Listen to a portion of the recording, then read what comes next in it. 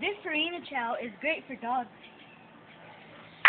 See, when you pet him, he doesn't bark. Nice doggy. And Alpo is really bad for dogs. Alpha or anger management? Let's just find out.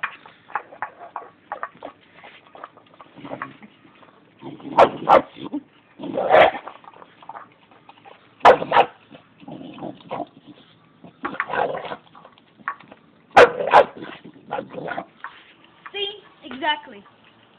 Because Michael went out.